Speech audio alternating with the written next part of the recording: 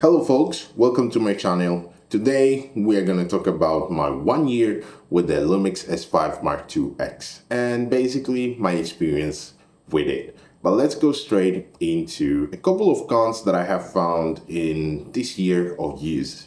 So the first one is moire. Of course, it's going to have uh, a bit of moire issues. Some people exaggerate and say there's going to be a lot of moire, but um, I haven't really found it, or I have found it, but it's not really distracting for me. And you're really gonna find it if you are actually really looking for it. So um, if you look for it, you'll find it. But if you really don't look for it, nobody will even notice it. And it's easy or easily fixable, um, in my opinion, for the type of way that I have used it. So yeah, I don't know. The second uh, con is rolling shutter. Um, I have filmed in a documentary where uh, I was basically shooting a person sitting in a tram and then we were passing basically uh, because it was in front of a window so um, it wasn't really that distracting or that bad uh, as you saw or you were seeing so well up to you to judge and it depends how you shoot mostly. So um, for my type of shooting for my way of shooting I haven't seen any big issue there but I know there have been a lot of people who have seen um, that issue and that has bothered them so much to change camera system. That's uh, on them but for me everything was good. And that are more or less all the cons for me only two because this camera, let's say it all, it's fantastic for the price range where it is. It's still the king in its price range because the Nikon um, Z6 Mark III, the Canon R6 Mark II, and the Sony um, a7 IV, they are all above as a price. The first two, so the Canon and the Nikon or Nikon, they are basically above 3000 in Europe. While the Sony a7 IV is depending, sometimes it goes to 2, 4, so to 2400 or 2800. So that kind of the price range depending on um, basically uh, what kind of deal you're kind of trying to find and now you can find it pretty much on the used market, but the price range is that.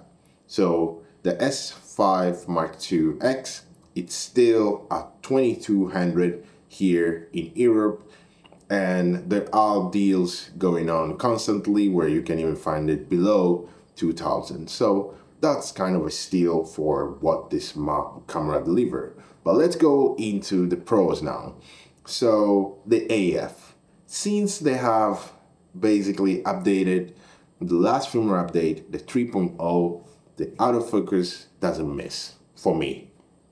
It's amazing. I love it. Uh, and I, for me, it's just mind blowing how good this autofocus is. And let's remember that this is the first attempt for this new phase hybrid detect autofocus for Lumix. So they are doing an amazing job. And now um, they are basically, I can't say on par with Sony because that would be a lie. With Canon, probably, and with Nikon, I have to say that they are there in there. So it's amazing. Um, the is just amazing. Vlog. Vlog is straight on the best log that you will use in any mirrorless camera. The color reproduction is amazing black skin tones are amazing.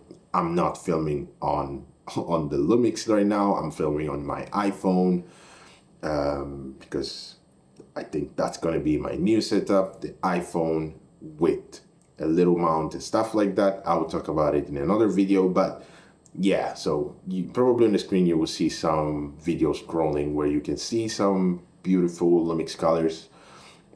So that is an amazing pro for me the recording of SSD externally. That is amazing. That's the only um, the Lumix S5 Mark II X and the Lumix lineup of camera in general, not all of them, but the newest ones are the only mirrorless camera that have this feature. For some people, it's a problem because there is a card dangling around. I will do a video about my cinematic setup and I have never found an issue on any of the documentaries where I have worked with this camera. And I was using basically an SSD where where I asked the production com, uh, production uh, manager to just deliver me with a couple of SSDs so that at the end of the shooting I will just head into them and I don't need to deal with it. And then they will send me some of the footages that I can have for myself and release them when I can release them. So that is an amazing feature. Then we have the dynamic range. The dynamic range that this camera have is just amazing. Okay, it's one of the best dynamic range with Sony uh, mirrorless cameras dynamic ranges because all the rest of them are below these two cameras. Sony and Lumix are the only cameras uh, companies that are really uh, crushing it with dynamic range in their sensors. Of course, you can never touch ARRI or you know um, or red and all of those kind of camera but those are cinema cameras not mirrorless cameras and i'm talking about mirrorless so you know what i'm talking about and you know what i mean the open gate the 6k open gate lumix is the only camera company in the full frame world of cameras that is delivering the full sensor readout of cam of uh, of the sensor. I don't understand why it's so difficult for companies to do that because I don't know. We are requesting it, so why not giving it? It's it's kind of a weird thing that I'm not understanding why it's so difficult for camera companies to do that. But hey, Lumix does it. It does it beautifully, and I'm not complaining at all about it and I'm pretty happy about it. Then the proxy backup recording. Lumix with the new firmware update, the 3.0, basically allowed us to record proxies to the second um, memory card. So you will be recording your normal footage in one card and then proxy in the next card. And the other beautiful thing is Frame.io because that same proxy that you're recording as a backup can basically be sent to Frame.io. So basically, is C to C, um, uh, cloud to uh, camera to cloud system workflow. So it's quite amazing workflow. And thank you, Sony. Uh, Sony, yeah. well, Sony has it too, um, but not with Frame.io. But anyway, thanks Lumix for doing that. And then the last thing is BRAW. BRAW externally is just amazing. Uh, I, I, I just love BRAW because I'm a DaVinci Resolve user. I've canceled all my Adobe subscriptions because um, I want to do a video about it because they are freaking, they were stealing money.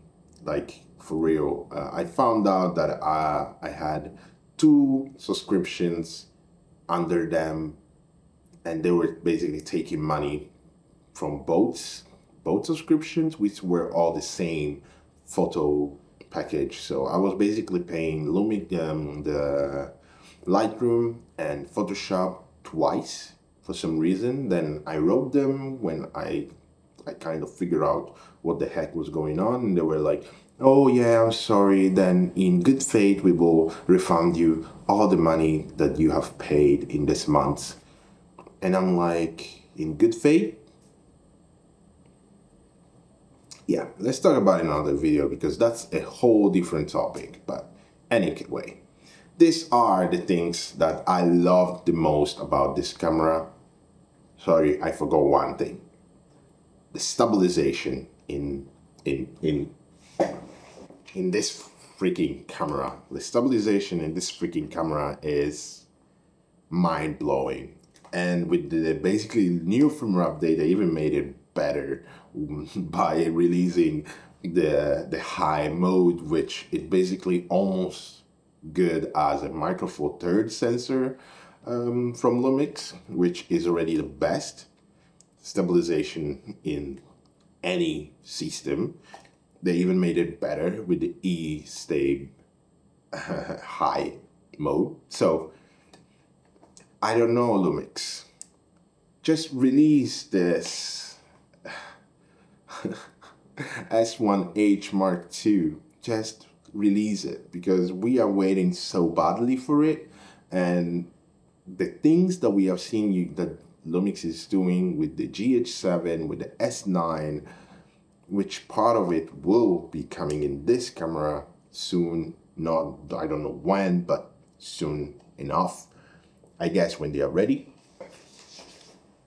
But the S1H Lumix where it is. But write me down in the comment what are the things you love about the Lumix S5 Mark II X? And if you are thinking of buying it and you haven't bought it yet, why not? Because it's quite an amazing camera. But hey, take good care of yourself, stay blessed, and I'm gonna see you in the next one.